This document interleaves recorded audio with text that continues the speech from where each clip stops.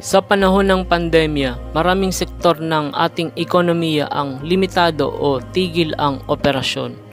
Marami ang nawawalan ng negosyo at hanap buhay.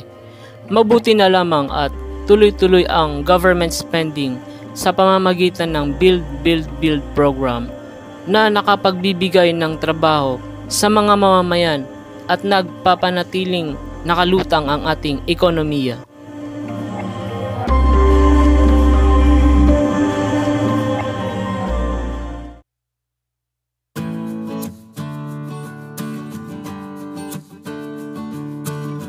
Ang Intramuros ay isang historic walled area sa lungsod ng Maynila na kilala sa mga Spanish architecture buildings.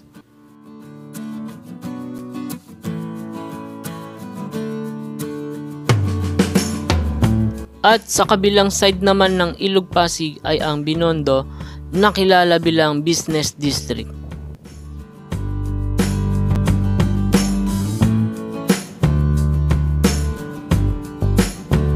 Isang napakagandang tulay ang ginagawa ngayon na mag-uugnay sa dalawang distrito.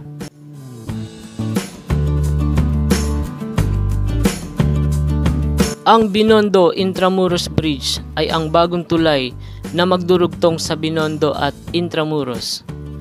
Ang disenyo nito ay katulad na isang basket handle or yung tinatawag na steel arcs bowstring.